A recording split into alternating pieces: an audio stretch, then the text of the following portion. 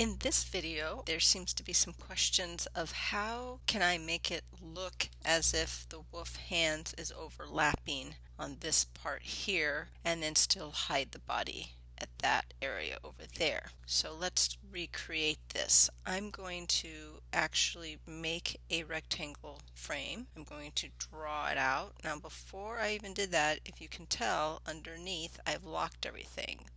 This image is locked this is locked, everything's locked. I drew out a frame.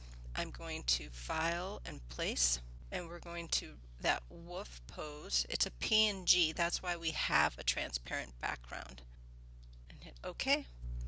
Now it's really big inside that rectangle or square I've made. Right click, change that to fit content proportionally.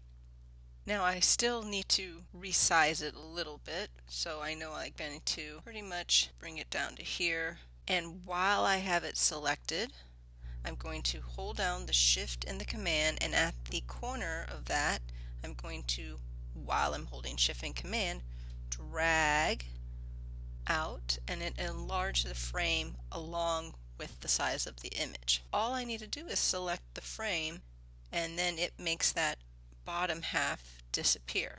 So let's just go all the way up to here.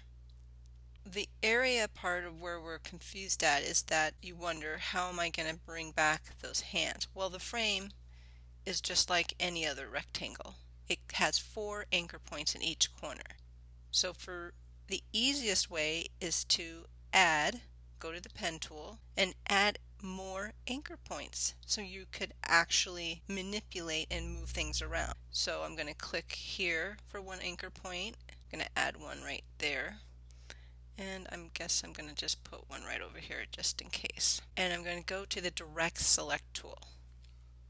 And then now I can actually click on and select that one anchor point and I could do the same thing with this one here too. And this one. So the frame could be really any size. We talked about how it's just a window and allowing you to only see what you wanted to see. So let's zoom in a little bit more.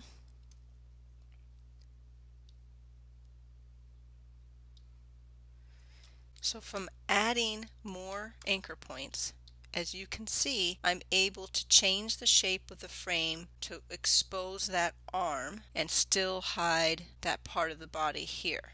Now for the overlapping with the ear, you know, again, you need to open up that frame and then the image needs to be larger. So I'm just going to increase just the image inside the frame. And because we paste it on top of everything it is going to be on top. And then I could also resize this again. And then grab that bottom half of the frame.